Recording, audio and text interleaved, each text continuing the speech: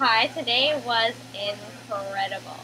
We uh, were shooting with the Edgertronic again, and we filmed this um, fish that buries itself in the sand, its whole body, and then in an instant, it, it uh, wiggles its body and comes out of the sand. And we caught that on the Edgertronic, and the, the uh, fish we were filming, even Fabien didn't know what it was, so none of us really know what it was. That's pretty exciting.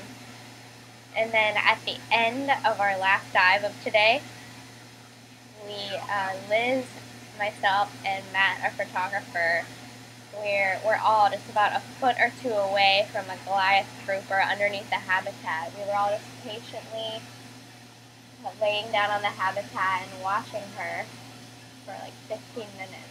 It was great. It felt like we were friends with the fish.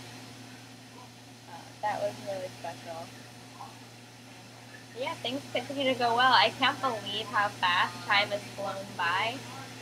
We, we have a lot more footage we want to catch with the Edgertronic, and we need to collect more DNA samples of sponges. So we'll do those things tomorrow. Tomorrow will be fun because Fabien's sister, Celine Cousteau, is visiting. We'll have a special guest.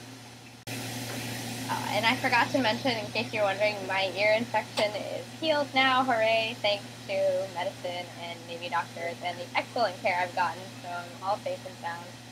Also today we Skyped with the Boston Museum of Science, and that was really fun. We got a lot of great questions from the audience. Like one kid asked if we had found any treasure out here. We said, I mean, yes, we've discovered new things. Uh, we've gotten a lot of data, which is like treasure for scientists. But